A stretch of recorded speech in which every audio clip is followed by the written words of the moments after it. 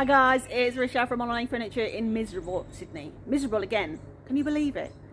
Anyway, doesn't matter. Today I'm inside. I'm going to hit the Cricut. Today I'm going to have a go at making a stencil for furniture. This should be a laugh.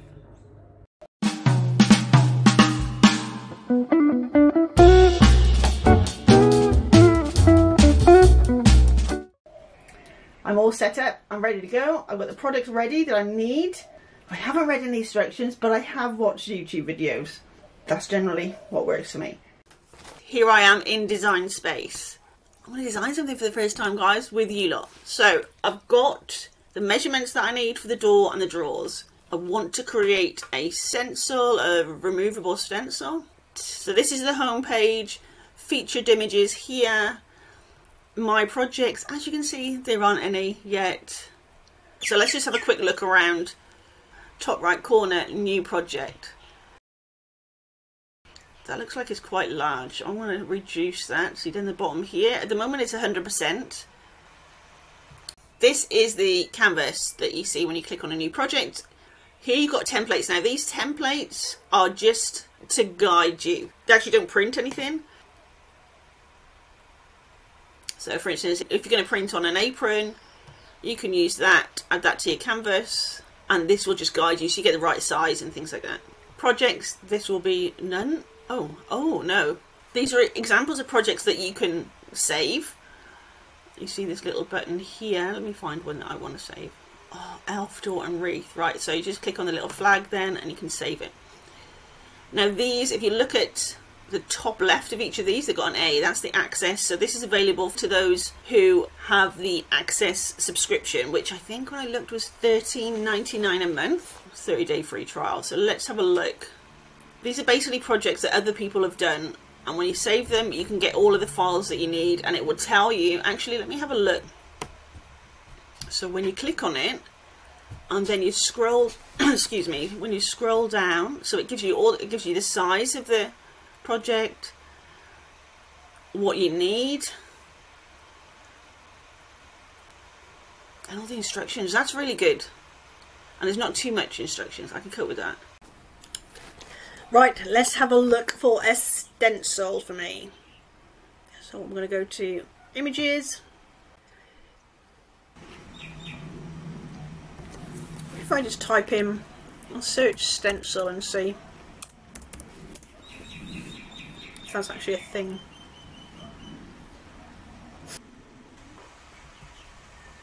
So because these are actually marked as stencils, you don't need to do anything with them. You can print them as they are or cut them as they are. You can also use a regular image, but you would have to invert it. So the cutout part would be inverted to what it actually is.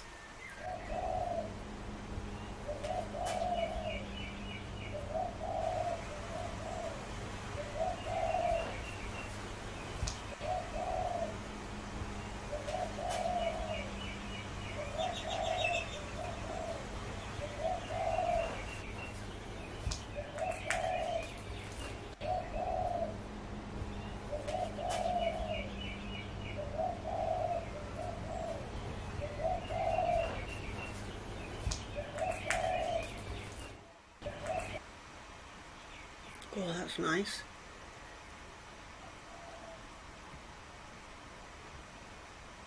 Oh, I like that. Do you know what? I might just use that just on the draw on the door front.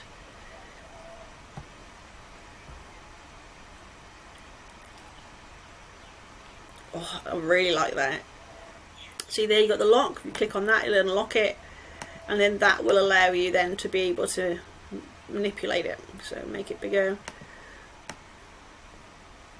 Right, so I think we're good to start printing. So now I just need to click on make it up here in the top right.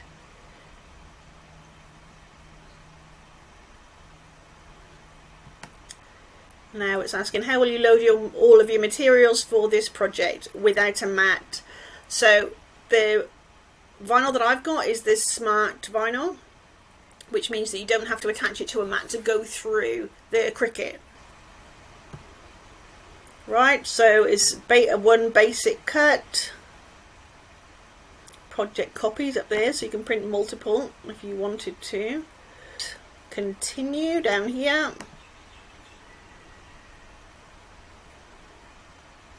Now it asks you what type you're going to use. So or what type of material. So smart smart vinyl permanent, smart vinyl removable. I'll be using the removable. So now it just asks us for the to fill in more details. So it's the pressure is default. So I've already, because I've selected smart vinyl removable, it's set that to default. Now we have to load tools and materials. So no tool required in clamp A, right clamp B, load fine point blade in clamp B. So it says to install the fine point into blade B, which is here, and it's already come with it. So you open it and lift that out, and there it is. So don't need to do anything with that. I literally haven't done anything to set this up, to be honest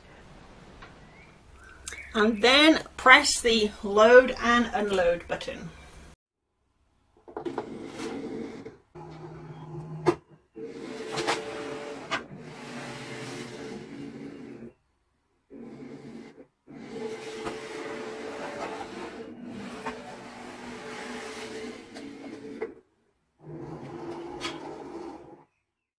Press the go button.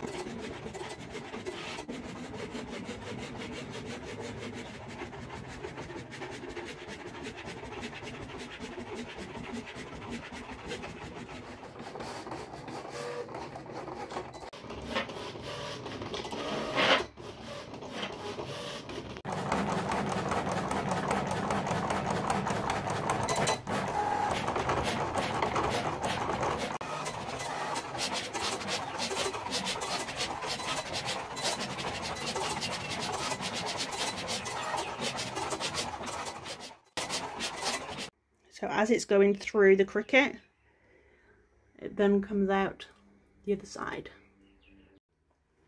Now it says to please unload the mat by pressing the load and unload button again, which is there, flashing. But I think I should probably cut this first. Do you know what? Let's just see. I'm not sure which way it will unload it, whether it's coming forward or back. So let's just see.